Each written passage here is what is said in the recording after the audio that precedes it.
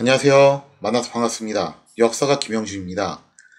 태조실록 제62부 정도전 요동 정보를 추진하다라는 주제를 가지고 오늘 여러분과 함께 할까 합니다. 1397년 4월 권건이 사행길을 마치고 돌아온 다음에 정도전은 입지가 굉장히 불리해지게 되어 명예 홍무제는 노골적으로 정도전을 적대시하고 있으며 이방원 일파를 우대하고 있다는 것이 다시 한번 입증이 됐다는 거죠.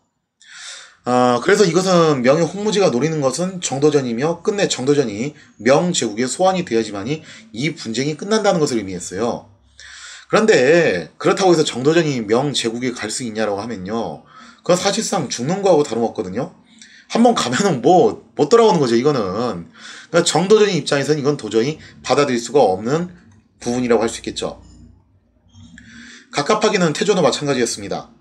어, 정도전은 단순히 자신이 신임하는 신하 정도가 아니라 거의 자신의 분신이나 다름없는 존재예요. 근데 그런 정도전을 홍무제 요구대로 명예 보낸다는 것은 정말 있을 수 없는 일이죠. 자기한테는. 게다가 얼마 전 세자의 모후인 신덕왕후 강씨가 별세했기 때문에 현실적인 문제도 하나 있는데 그러면은 만약에 갑자기 자기한테 무슨 일이 생겼을 경우에 지금 아직 어린 세자가 믿고 의지할 게 누구냐 이거죠. 즉 세자의 후견인격인 정도전 뿐이었다는 거예요. 그래서 지난 시간에 설명드린 대로 신덕왕후 강씨가 좀 생각보다 일찍 세상을 떠나는 게 어, 세자였던 이방석에게 있어서는 굉장히 불행한 사건이었죠. 근데 만약에 이제 정도전이 명예 가서 불기의 계기라도 된다면은 이 어린 세자를 누가 지지를 할 것이냐 이런 현실적인 문제도 분명히 있었다는 거예요. 이런 상황에서 악재가 또 하나 겹칩니다. 사실 한 해 전부터 태조와 홍무제는 서로 넌지시 혼담을 주고받던 터였어요. 이게 뭐 교과서에도 안 나오고 드라마에도 거의 언급이 안 되는 이야기인데 약간은 뜻밖이지만 그런 얘기가 원래 오가고 있었어요. 혼담 얘기가 오가고 있었는데 그 혼담 얘기가 지지부진해지더니 결국에는 1년 어, 정도 진행했던 홍담이 파국을 맞이하게 되었다는 거죠. 이번에 이제 명에서 사인길에서 돌아왔던 설장수가 가지고 온 자문에 이런 얘기가 있는 거예요. 혼담에 대해서 좀 부정적인 견해를 보이는 내용들이 들어 있었다는 거죠.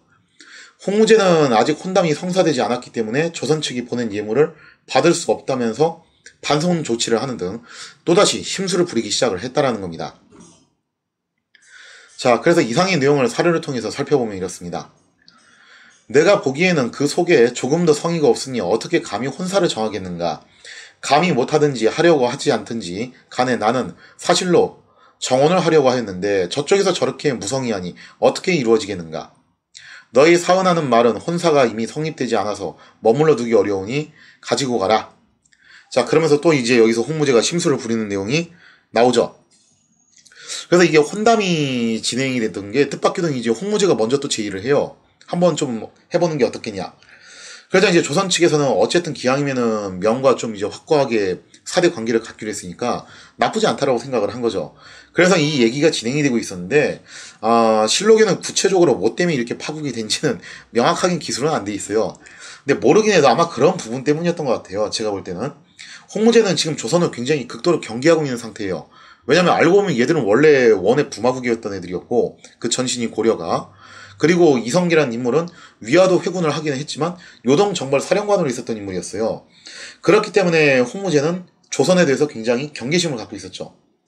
자, 그래서 홍무제가 조선을 확실하게 좀 이제 잠재우기 위해서 뭐 계속 이제 그런 심술도 부리긴 했지만 정략 결혼도 한번 생각을 했던 것 같아요. 혹시 얘들을 갖다 이제 우리 부마국으로 두면은 좀 어느 정도 이제 관계가 호전되지 않을까 그런 생각을 갖고서 접근을 했는데 제가 볼 땐 조선 측에서는 좀 이제 그랬던 것 같아요.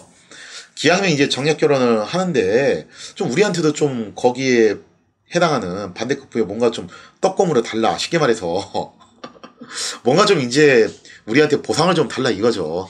요즘식으로 따지자면 뭐 그런 거예요. 북미 간에 이제 대화하는데 미국에서 먼저 핵을 해체하고서 사찰에 들어갈 수 있게끔 해주면은 우리가 뭐 해주겠다. 근데 이제 북한에서 반대로 얘기하는 거죠. 미국이 먼저 좀 뭐좀 좀 풀어달라. 그럼 우리가 그럼 성의를 보여주겠다. 아마 그냥 이거하고 좀 유사한 상황이었던 것 같아요. 제가 볼 때는. 그러니까 조선 측에서는 뭔가 좀 이제 자기들한테 떡거물을 달라는 식으로 얘기를 하니까 홍무지가 여기서 이제 다시 또 이제 뚜껑이 열린 거예요. 저거 봐라. 저것들은 끝까지 우리 벗겨먹을 생각밖에 안 하는 놈들이다. 겉으로는 뭐 사대니 어쩌니 하지만 속으로는 무슨 생각을 하는지 저거 어떻게 하냐 해가지고 결국에는 이런저런 일들이 겹쳐서 이 혼담이 파토가 납니다. 그러면서 이제 태조는 정말 극심한 스트레스를 또 받게 되는 거죠. 그렇다면 홍무제는 도대체 왜 그렇게 태조에게 집요할 정도로 정도전의 소환이라는 무리한 요구를 한 것이냐. 좀 거기에 대해서 생각해 볼 필요가 있겠죠. 홍무제가 조선을 극도로 경계한 것은 맞기는 한데 일단 조선과 진짜로 전쟁할 생각까지는 없었던 것 같아요. 왜냐면 이게 지나간 역사가 증명하듯이 중원의 국가가 한반도로 침공에 들어가서 그다지 좋은 결과를 가져다 준 전례가 없어요. 그리고 설사 전쟁에서 승리했다 하더라도 한반도는 중원을 지배하고 있는 중국인들에게 그다지 매력적인 땅도 아니고 크게 이득을 볼 수 있는 것도 아니라는 거죠. 무엇보다도 장기적으로 한반도를 점령했던 그런 역사가 없거든요. 진짜 굳이 이제 있다면 기껏해야 옛날에 이제 옛 조선이 멸망했을 때 그때 이제 한사군을 설치해가지고 잠깐 이제 장악했던 거. 그 다음에 또 고구려가 멸망한 다음에 한동안 이제 안동 도호부 설치해가지고 잠깐 장악했던 거. 그거 말고는 딱히 없어요. 그래서 홍무제도 지나간 역사로 공부를 했을 테니까 그런 생각은 했을 거예요. 저쪽은 가봤자 이거는 먹기도 힘들 뿐만 아니라 먹어서 봤자 이제 별것도 없는 그런 동네다. 오히려 눈덩이처럼 손에만 있는 동네다. 아마 그렇게 이제 계산을 했을 겁니다. 하지만 문제는 한반도에 있는 국가가 만약에 요동을 영유하게 되면 그때는 문제가 심각해진다는 겁니다. 그럴 경우엔 중원에 있는 국가가 위기를 좌지할 수밖에 없다는데 역사를 또 다시 상기시켜 보면요. 또 다른 공식이 나와요. 요동 지역에 강력한 제국이 들어서면 이 강력한 제국은 반드시 필연적으로 중원으로 침공을 해온다는 겁니다. 그런데 심지어 한반도하고 요동을 아우르는 그런 국가가 나왔다고 생각을 해보세요. 그런 국가가 나오면 이거는 볼 것도 없는 거 아니에요, 그죠? 그래서 지금 현재 요동 지역이 엄밀하게 말하면 여진족과 명의 세력이 좀 뒤섞여가지고 아직은 좀 안정이 조금 덜 돼 있는 상황인데 이런 상황에서 만약에 한반도를 통합하고 있는 조선이라는 나라가 혹시라도 요동까지 제패를 하게 된다면은 그러면 이거는 중원을 노리는 것이 거의 뻔할 뻔짜라는 거죠. 그래서 이제 홍무지가 제일 신경을 곤두섰던 게 뭐냐면은 과연 조선이 그렇다면은 그럴 의도가 있는지 여부였어요. 아무래도 홍무제는 이 점에 있어서 조선의 진위를 매우 의심하고 있었던 것 같아요. 자, 그러니까 여기서 중요한 건 그거예요. 실제로 조선이 그럴 능력이 있냐 없냐 하고 별개 얘기라는 거예요. 즉 홍무제가 조선에 대해서 어떻게 생각했냐의 문제거든요. 이거는 정말 골치 아파요. 이거는 아무리 조선에서는 나는 그럴 능력도 없고 그럴 생각도 없다라고 백날 천날 말해봤자 상대방이 안 믿어주면 그거는 말짱 꽝이에요. 아 실제로 홍무제는 굉장히 의심이 많은 인물이고 그래서 한 번 이 사람 숙청 단행했다 하면 뭐 만 명 단위로 죽어 나갔다는 건 제가 이미 한 번 서술을 했죠. 그 의심 때문에 대규모 옥산을 일으켜서 정말 많은 신하들을 도살했던 인물입니다. 그런 홍무제가 왜 하필 정도전을 극도로 경계하게 되었는가? 거기에 대해서는 명확하게 설명하는 사료는 없어요. 하지만 이제 추측은 해볼 수 있는데 조선 개국 초기에 정도전이 명제국의 사행길을 가면서 이미 홍무제를 아련을 했어요. 그러니까 둘이 생판 모르는 사이는 아니고 어느 정도 이제 안면은 있는 상황이죠. 근데 아마 이때 만남을 계기로 홍무제는 정도전을 굉장히 위험한 인물로 간주를 하고 있었던 것 같습니다. 그러니까 이제 어떻게 보면은 난세를 해쳐온 영호골이잖아요, 홍무제도. 그런 영호골의 눈에 비친 정도전이 한 번에 이제 딱 간파가 되는 거죠. 아, 저거 보통 놈이 아니구나. 그리고 쟤는 굉장히 위험한 야신가다. 그런 생각을 했던 것 같아요. 더군다나 이제 당시 정도전이 사행길을 마치고서 산해관을 넘으면서 했던 말, 한마디를 이제 하고 왔는데 아 이거 좋은 게 좋은 거 아니냐라는 그런 좀 약간 좀 듣기에 따라서 불순한 형태의 말을 한마디 하고 가요. 정도전 성격이 여기서도 또 나오죠. 곱게 안 가요 또. 그래서 홍무제는 이 말을 듣고서 굉장히 불쾌한 기색을 냈다는 거예요. 그래서 이에 대해 홍무제는 무리하기 짝이 없는 정도전을 중용하는 태조 역시 천지분간을 할 줄 모르는 인물로 매도하는 말을 늘어놓기도 했다라는 겁니다. 따라서 아마도 첫 만남부터 정도전에 대한 홍무제 인식이 무척 좋지 않았고 그래서 요주 인물로 찍혀가지고 블랙리스트에 올라가서 집요하게 저렇게 이제 정도전을 제거하려고 했던 게 아닌가 그런 이제 추측을 해볼 수가 있겠죠.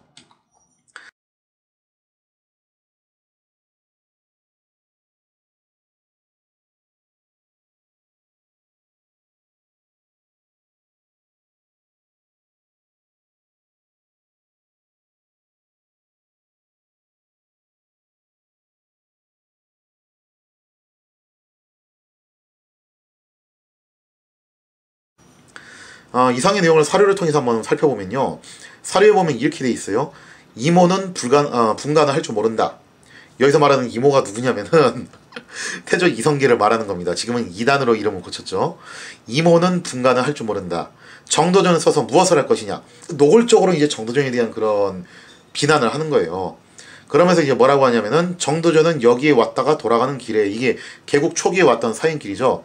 산해 위를 지나가다가 사람을 대하여 말하기를 좋은 것이 좋은지 좋지 않은지 모르겠다 하여 한마당을 다투었다. 구체적으로 뭐 가지고 싸웠는지 모르겠는데 아마 그런 것 같아요. 우리 신생 조선이 이렇게 들어섰는데 명제국이 이거 화끈하게 인정을 해주고 고명과 인신도 그냥 화끈하게 내주고 아 그러면 될 문제지 왜 이걸 가지고 자꾸 질질 끈지 나 잘 모르겠다. 좋은 게 좋은 거 아니냐. 좀 이런 식으로 얘기를 했던 것 같아요. 그 사내관 쪽에 있는 관료들하고 그러면서 여기서 이제 한바탕 이제 소란을 떨었는데 이 말이 홍우제 귀에 들어간 거죠. 그래서 첫 만남부터 이제 좀 꺼림직했는데 저게 아니나 다를까 집에 가는 길에 저런 말까지 하고 가 그러면서 여기서 이제 홍무제가 뚜껑이 열렸다라고 볼 수가 있겠죠.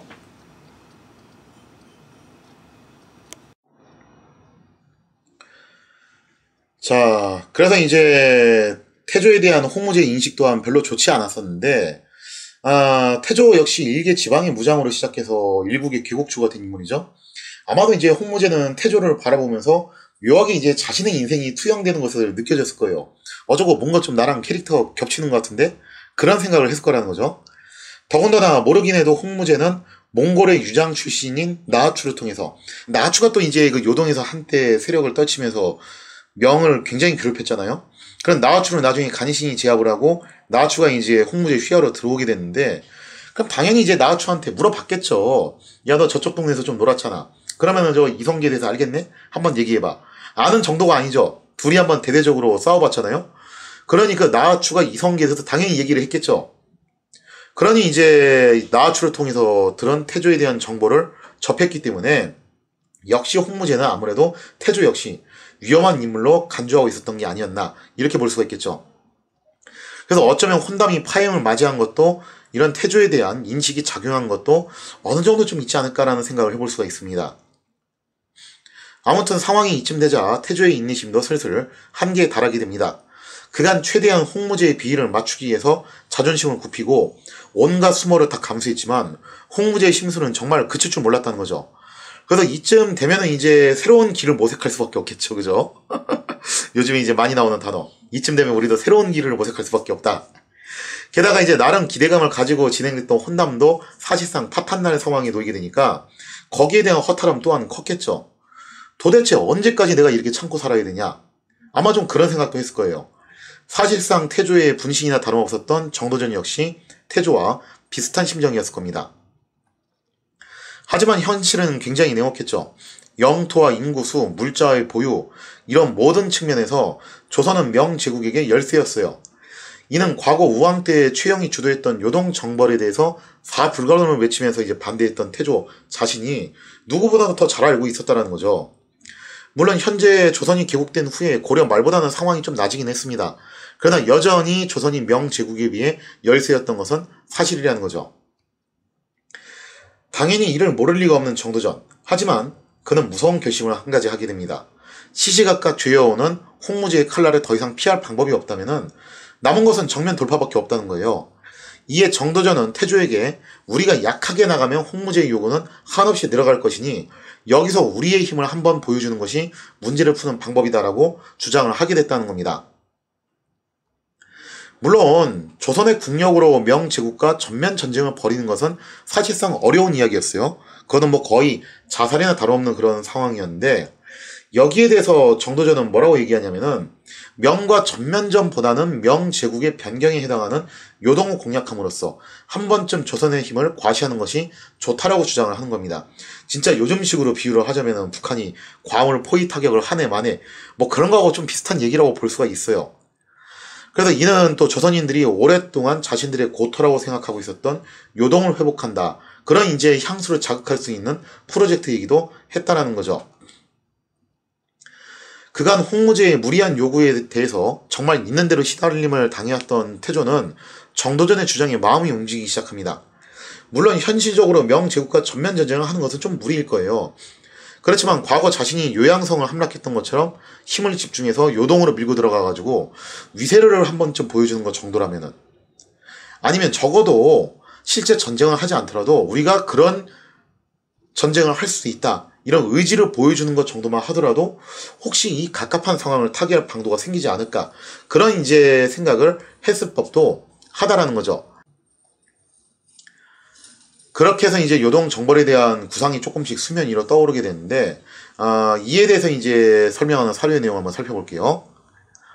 당시 정도전, 남은, 심효생, 하여튼 이 세 사람이 이제 가장 핵심 멤버라고 볼 수 있는데, 어, 정도전이 이거를 주도를 했고, 남은은 정도전의 이제 오른팔과 같은 인물이죠. 그리고 심효생은 세자 이방석의 장인이에요. 그러면서 여기서 이제 이 세 명이 한 체제를 구축을 하게 된 거죠. 그래서 이 세 명이 군사를 일으켜 국경에 나가기를 꾀하여 임금께 의논을 드렸는데 근데 여기서 중요한 게 뭐냐면은 어 요동 정벌을 구체적으로 어떻게 하려고 했는지에 대해서도 역시 좀 명시가 안 돼 있긴 해요. 여기도 내용이. 그래서 어느 정도 수준까지의 요동 정벌을 하려고 했던 것인지 그리고 진짜 하려고 했던 건지 아니면 이게 그냥 의시아의시아 수준으로 끝내려고 했던 건지 그게 좀 사료에 명확하게 써 있지는 않아요. 그런 건좀 명확하게 써 있지는 않는데 아, 그건 이제 나머지 내용은 우리가 그냥 좀 추측을 해볼 수밖에 없겠죠. 자, 근데 중요한 게 뭐냐면은 현재 이걸 주도하는 핵심 멤버가 정도전 남은 심효생이라는 거예요. 여기서 좀 이제 슬슬 나와야 되는 사람이 있죠. 제가 예전에도 그 설명한 적이 있어요. 태조한테 있어서 오른팔이 정도전이라면 왼팔은 조준에 해당합니다. 그러면서 이제 표면적으로 봤을 때는 정도전과 더불어서 현재 이제 조선 국정을 지지하고 있는 양대 산맥이라고 볼 수 있는 또 다른 기둥이 누구냐면 조준이에요. 그러면 정도전 입장에서는 조준한테 동의를 안 구할 수가 없겠죠. 그래서 조준의 집에 찾아가게 됐다는 거죠. 아, 그래서 이제 정도전 입장에서는 지금 현재 남은 게 바로 조준한테 이 사실을 이야기를 하고 조준의 동의를 받는 건데 일단 이방원 일파는 뭐 반대할 게 뻔합니다. 하지만 이미 태조가 정도전을 철저하게 지지하고 있기 때문에 정도전 입장에서는 크게 걱정할 부분은 아니었을 거예요. 오히려 이제 여기서 문제가 되는 것은 정도전과 더불어서 태조의 또 다른 축이라고 할 수 있는 조준의 의향이었다는 거죠. 조준은 오랜 세월 동안 정도전과 함께 태조의 수정 노릇을 한 인물이죠. 그렇기 때문에 요동 정벌은 당연히 조준의 지지가 필요했고 또 당연히 조준이 이걸 지지할 거라는 그런 기대감을 가졌던 것 같아요. 그래서 정도전은 가벼운 마음으로 조준의 집을 방문하게 되는데 과연 조준은 정도전의 요동 정벌 구상에 대해서 동의를 할 것인가? 거기에 대한 이야기는 다음 시간에 이어서 계속하도록 하겠습니다.